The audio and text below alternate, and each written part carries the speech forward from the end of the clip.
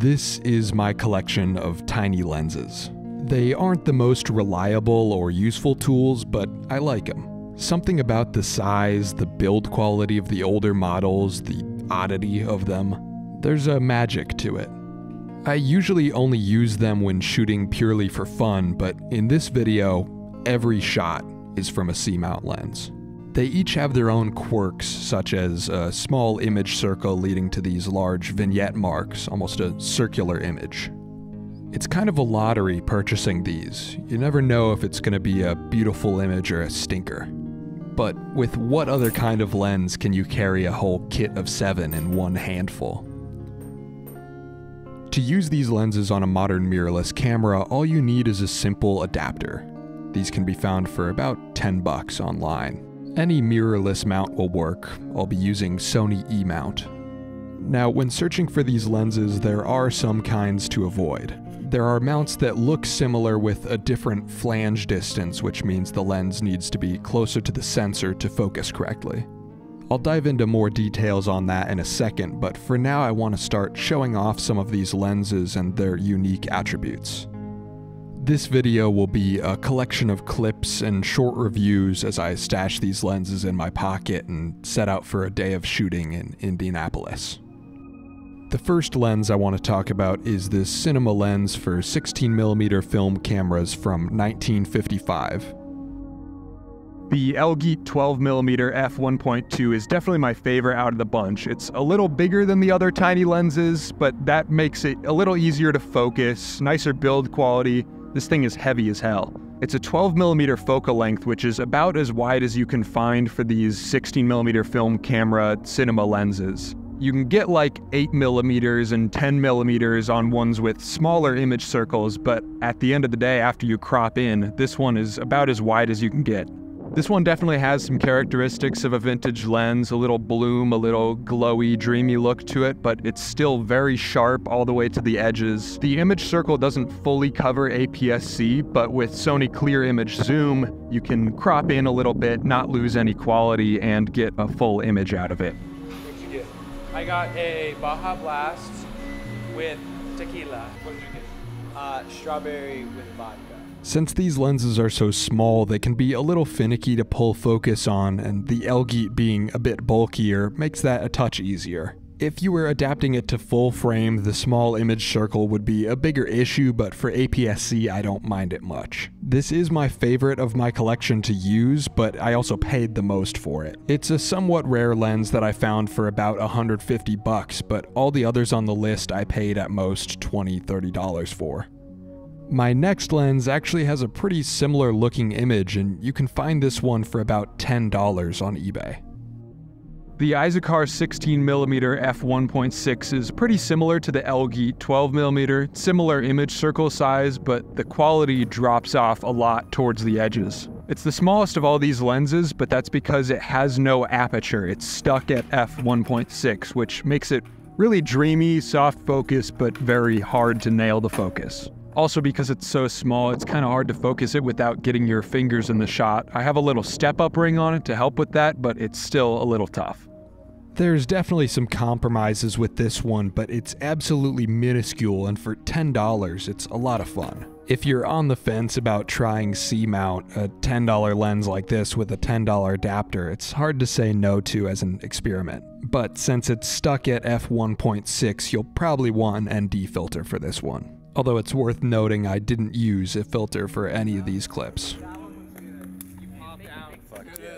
The Rise Spray 35mm f1.6 is the first C-mount lens I ever got. Actually, the first interchangeable lens I had at all. It's the longest focal length C-mount lens I use because I'm often using these on crop sensor cameras, so 35 is actually pretty long for me. Because the lenses are fully manual, no stabilization, and they're so small and light, if you go too telephoto, it's really hard to stabilize. This lens in particular has some quirks. The depth of field is a little different in the center than it is at the edges, and when you focus in and out, The focus breathing kinda is inconsistent. It's hard to nail focus with this one, and this is a lens where you want to keep your subject in the center of the frame, usually because the focal plane is different towards the edges. So overall, this one's a little finicky for run and gun shooting, but it's actually the one that I ended up using the most as I was shooting this weekend.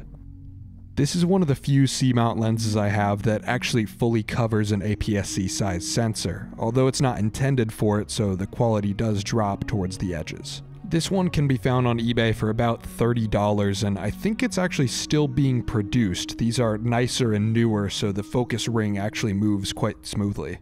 It's definitely an active shooting experience. You have to really be thinking about how you're framing things and, and focusing, but it's a lot of fun and the image looks good. Now, before I show the last three tiny lenses I have, here's the basics of adapting them. This is your image sensor or your frame of film, whatever's capturing the picture.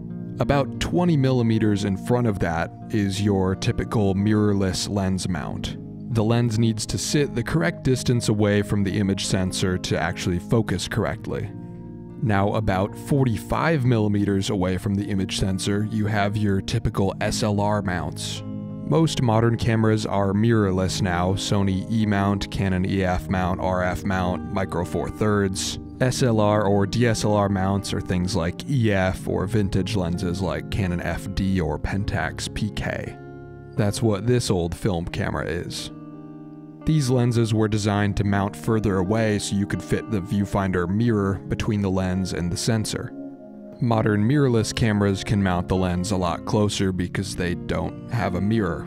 This means you can't adapt a mirrorless lens to a mirrored camera because the lens wants to be closer to the sensor than the body allows.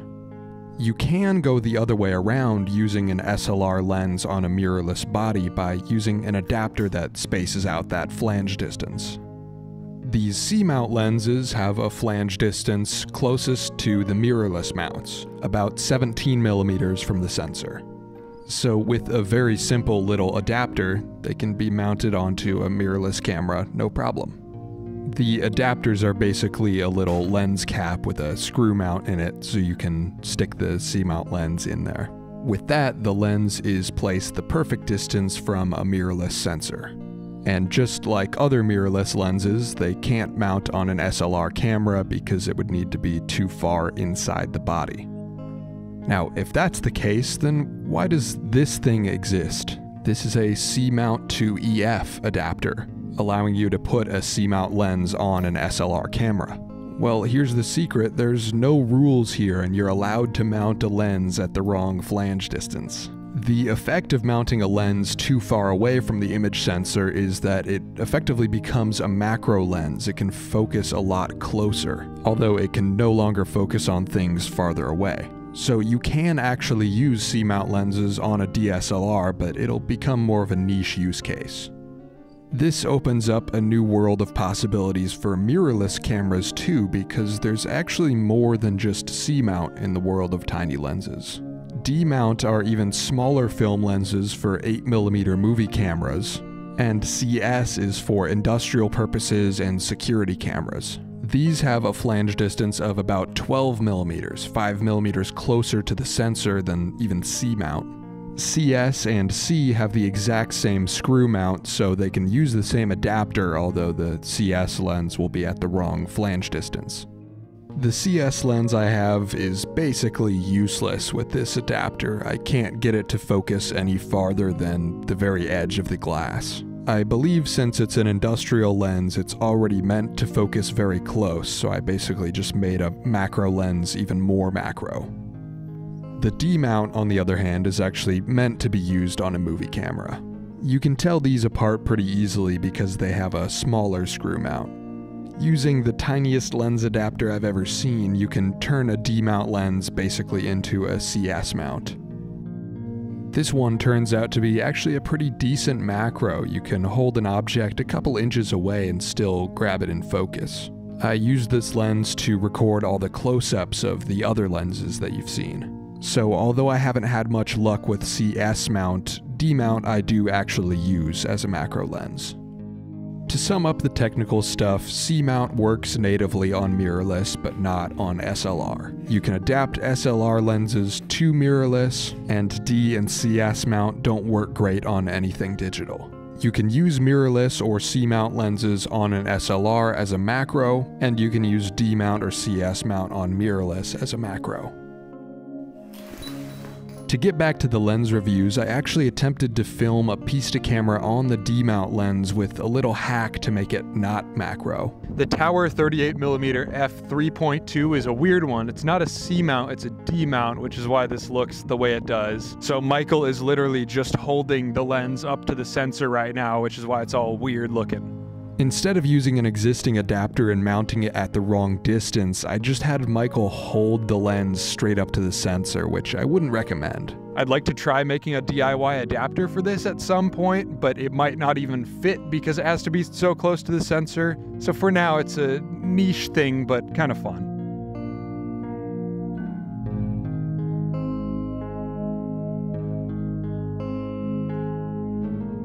The Wollensak 25mm f1.5 is probably the oldest lens in this bunch. It came off of my great grandfather's uh, 16mm movie camera. I like this lens a lot. I would describe it as the most dreamy looking of all of them. Very soft focus, even when you're in focus. And opening the iris all the way, you can get some very bloomy looking footage. This one fully covers an APS-C sensor and it probably has the best quality without any crop. It's a very well made old lens, all metal body, but it is a little stiff on the rings and it's such a small lens that kind of makes it hard to focus when you're shooting on the go. Another funny quirk about this lens is it's actually not a 25 millimeter, it's branded as a one inch before they standardized all focal lengths to millimeters, but one inch comes out to about 25 millimeters, so it's, it's the same thing. This is the C-mount lens that I probably use the most when I'm shooting in studio, but for run and gun I didn't use it as much, partially because I had another 25mm to test out.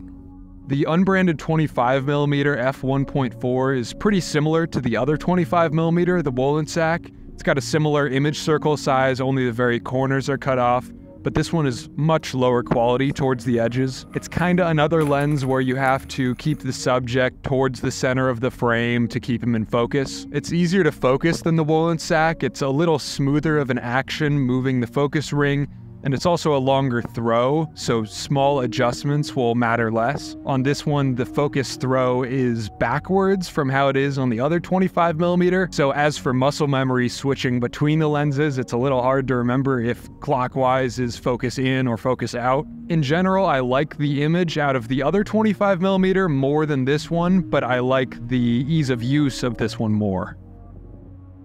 Realistically, my actual use case for these tiny lenses has been just shooting for fun whenever I'm walking around a city or something and I want a tiny setup I can stash in a coat pocket or something. But for actual production, if you're looking for vintage lenses with a cool dreamy effect, Honestly, I would recommend the reliability of just any other old film SLR mount like Pentax PK or Canon FD. That being said though, I did actually shoot the intro to a short film on these for my buddy Michael Pappas. We wanted very minimal light, very kind of glowy, dreamy, ethereal looking footage uh, with only one light source. And you know, as of a festival this weekend, that film is an award winner, so uh, you can use $10 lenses and, and get some uh, good enough results for a film festival, apparently. So, as a niche use case, they are genuinely useful, but you know, other mounts would probably be better if you don't need the tiny form factor. I don't want this to be one of those camera gear videos where it's like,